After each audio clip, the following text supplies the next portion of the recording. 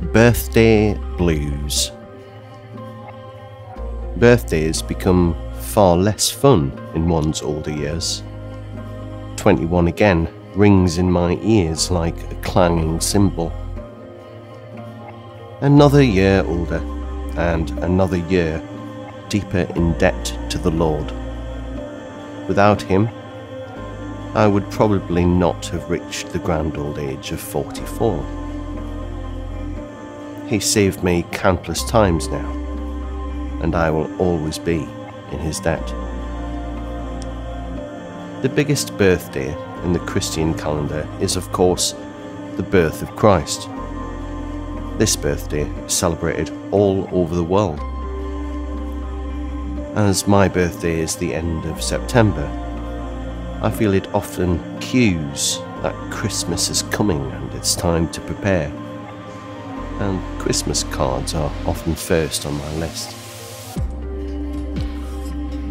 I often find great pleasure making a list of churches I've visited and spending time writing a card, reflecting on some of the amazing sermons I've heard, reflecting on God's Word. I try to pick cards that represent the true meaning of Christmas.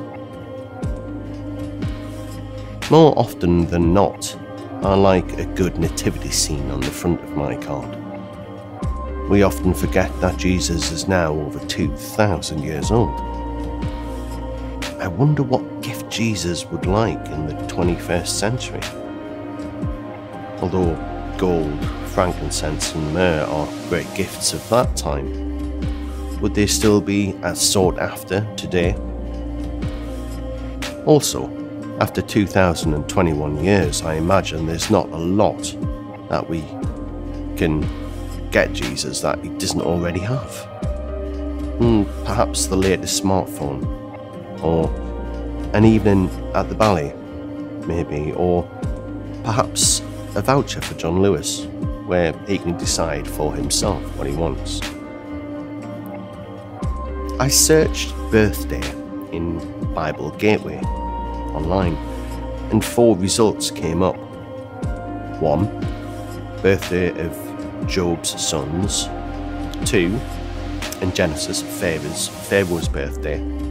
And twice in both Matthew and Mark about Herod's birthday. Pharaoh raised a toast to his officials. Job told his sons to arrange feasts. Herod arranged the daughter of Herodias to dance for his guests and he also arranged a banquet for the high officials. Now, Jesus has two birthdays his birth in the stable and his resurrection. In the UK, we also celebrate the Queen's birthday. In the Bible, we hear of many births, but there really isn't a lot of birthday celebrations. The four found in Bible Gateway, the high ranking people of the day, only had parties to celebrate. One of the best gifts I received this year was a hug from my mother. It cost nothing and meant the world to me. I've often thought that it should be the mothers that celebrate their child's birthday rather than their offspring.